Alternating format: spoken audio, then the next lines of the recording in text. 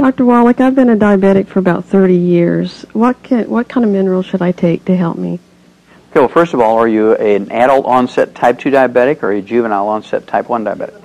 Juvenile onset type 1.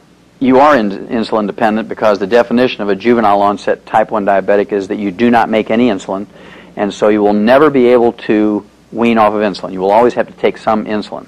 But uh, there are two trace minerals, chromium and vanadium, that will make the insulin that you supplement yourself with very efficient. And most people who are juvenile onset type 1 diabetics are able to reduce the amount of insulin they require to stabilize their blood sugar uh, by supplementing with the chromium and vanadium. Normally, a person learns how to adjust their insulin by taking their blood sugar once or twice or three times a day. And so you're taught how to adjust your insulin intake. And just by following what you've been taught, uh, as you supplement with this plant-derived colloidal and the chelated chromium and vanadium, you will be able to get down to a new dosage of uh, your insulin.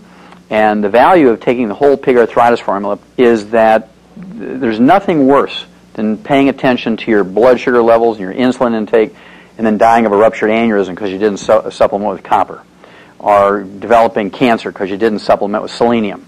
So it's very important, even though you're a diabetic, and that is your primary immediate concern, still over the long haul, uh, being a health conscious person just out of necessity, uh, you're going to have to supplement with all 90 essential nutrients. And uh, the odds are, even though you're a juvenile onset type 1 diabetic, you have every honest expectation of living to be 100 uh, symptom free if you do everything right.